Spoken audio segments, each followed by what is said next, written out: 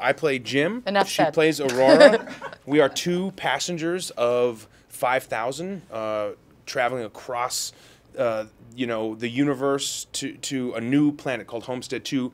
And we're on a, a starship called the Avalon. And due to some malfunctions in the hibernation pods, we both wake up and we realize that we're only 30 years into a 120 year long journey. So we've got we face 90 years to go and we have to deal with one another and the reality of living on a ship that's been essentially designed to keep people from dis- figuring out the intricacies of the ship and we and ultimately we we don't know whether or not we're alone.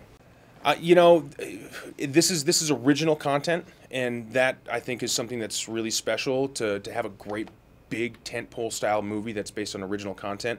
It's it's unlike any anything an people have seen before. story. It's a, it's to me my favorite script I've ever read. I think the story is amazing. Jen is, is dynamite, and you know I And tickets are half off. yeah Around the world. They're not, but again, again, Jen cannot confirm. She's not qualified. I to be confirmed giving- it. Ooh, right. Not authorized to give discounts on And you can quote me on that. no, it, and it will do no good.